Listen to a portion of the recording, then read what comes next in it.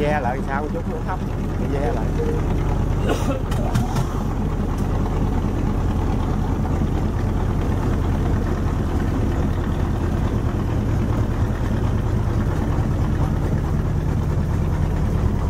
tập lại cái độ cho ta đeo lên cái chạy nó lên. Lấy tay vô, lấy tay vô.